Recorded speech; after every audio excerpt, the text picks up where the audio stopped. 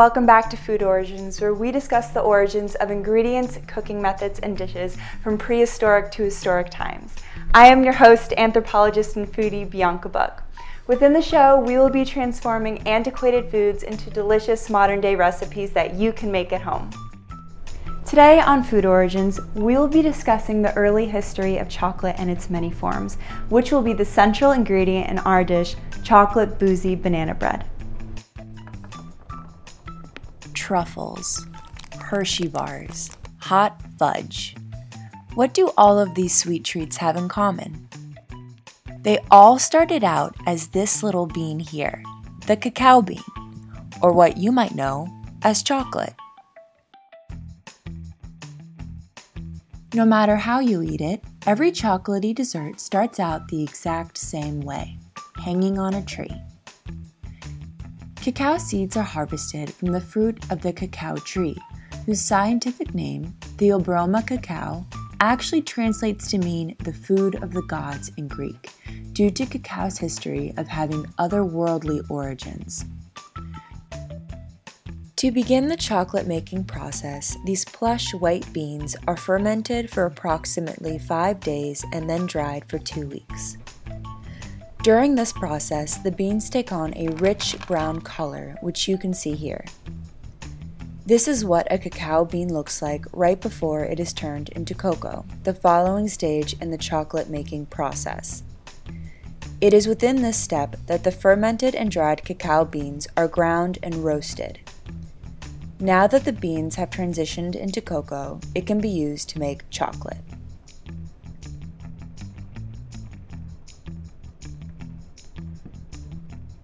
It is believed that the cacao tree originated in South America, but naturally migrated north all the way to Mesoamerica, the region of land stretching from northern Costa Rica all the way to southern Mexico. It is within Mesoamerica that archaeologists believe the first domestication of the cacao plant and the creation of chocolate first occurred. The word cacao stems from the indigenous southern Mexican language family of Mixe-Zoquian. Anthropologists and linguists have reconstructed the original term for cacao, which was cacao or cacaoa, and has gone relatively unchanged for millennia. The development of chocolate has traditionally been associated with the Aztec, Maya, and Olmec civilizations due to its prolific assimilation within their cultural, religious, and commercial domains. However, the true origin of chocolate predates all three of these ancient civilizations. Recent archaeological ventures have tracked the true source of the sweet treat to the Soconusco region of the coastal southern Mexican state of the Chiapas, where evidence of liquid chocolate has been discovered at one of Mesoamerica's earliest sedentary villages.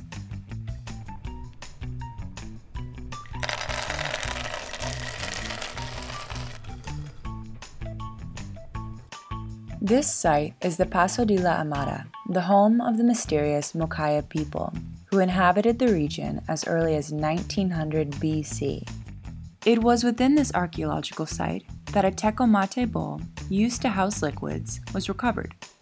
The contents of the bowl were tested using liquid chromatography and mass spectrometry to identify cacao's unique chemical composition, proving that humans have been consuming chocolate for nearly 4,000 years.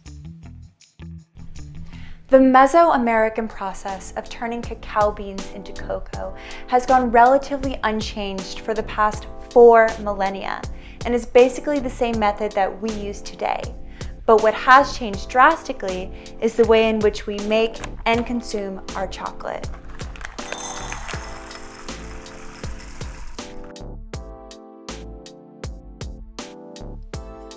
Within these ancient societies, chocolate, or chocolatl as the Aztecs called it, was consumed as a bitter drink that was combined with cornmeal, water, and chili peppers, and was poured from a great height in order to create froth. Sugar was not introduced to the chocolate making process until it reached Europe in the 16th century.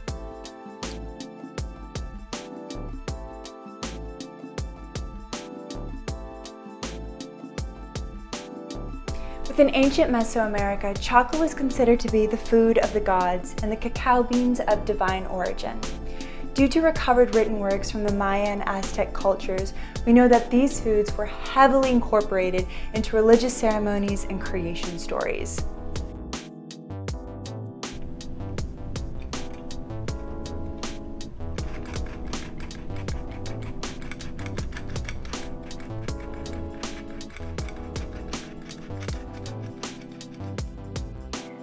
During yearly festivals, the Aztecs gave offerings of blood coated cacao to their gods. In rituals patronizing their god of trade and commerce, Yacatecuhtli, chocolate drinks would be served to human sacrifices on the festival's eve. The Aztecs prized their cacao so much so that it was valued more than gold and used as a form of currency. Similarly, the Mayans annually celebrated their god of cacao and mercantilism, Ek Chuah, with animal sacrifices, gift exchanging, and plentiful offerings of the coveted bean. It was said that cacao had been gifted to the Mayan people by their creator god, the sovereign plumed serpent.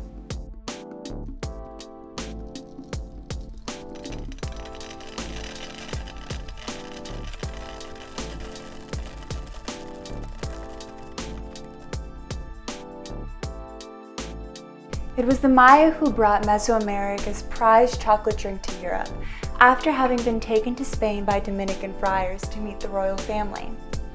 Once chocolate reached Western society, it quickly flourished and became the dessert that we all know and love today.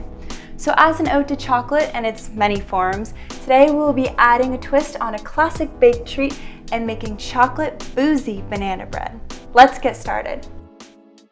Starting with the wet ingredients, Smash three heavily ripened medium-sized bananas into a medium-sized bowl. Add in 1 quarter cup of melted unsalted butter, 1 large egg,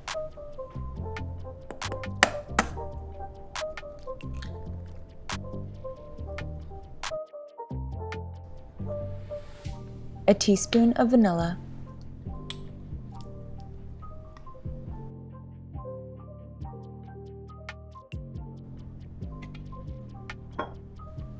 a half a cup of Kahlua,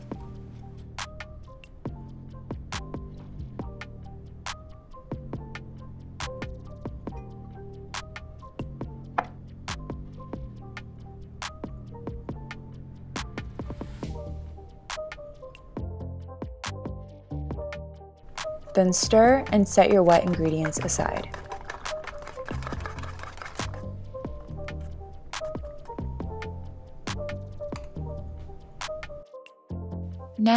Combine the dry ingredients. In a large bowl, combine a half a cup of cocoa powder,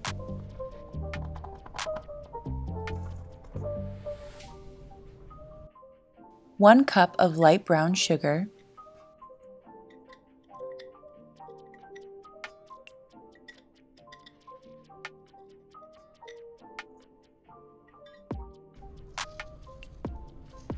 three quarters of a teaspoon of kosher salt,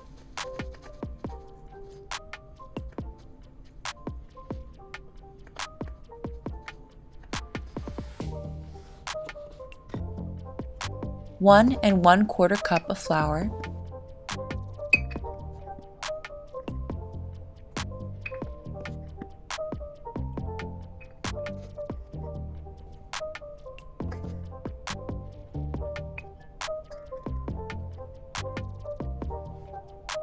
2 teaspoons of baking powder,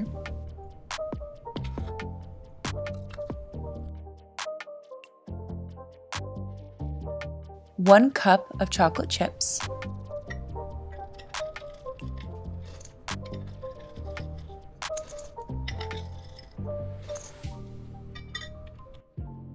three quarters of a cup of walnuts, which is optional, but I think it adds a necessary crunch.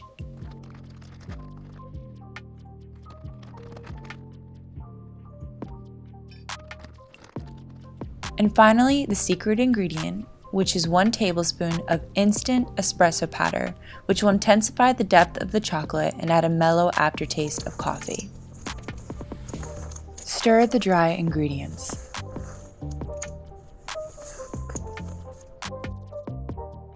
Now combine the wet into the dry ingredients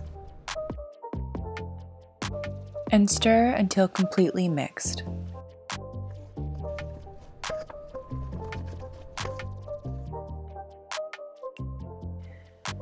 For the toppings, set aside a handful of chocolate chips, another banana, and about a tablespoon of sugar, which we will be using to caramelize the banana with a blowtorch.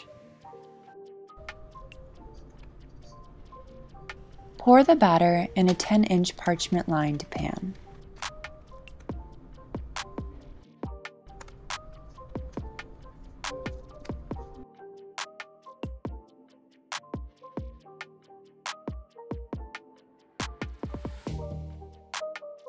Cut the banana in half and place on top of the batter along with the chocolate chips. Bake on a low rack at 350 degrees for one hour, or until a toothpick is inserted into the middle of the banana bread and comes out with just a slight bit of batter on it. It will continue to cook after it is taken out of the oven. After taking the banana bread out of the oven, let it rest for one hour. Then spread the tablespoon of sugar over both of the halved banana slices and torch. This will create a delicious thick caramel over top the naturally sweet baked bananas.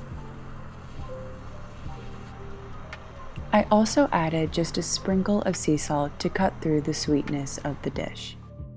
Instead of refrigerating the banana bread, wrap it in saran wrap. It will last for approximately 5 days.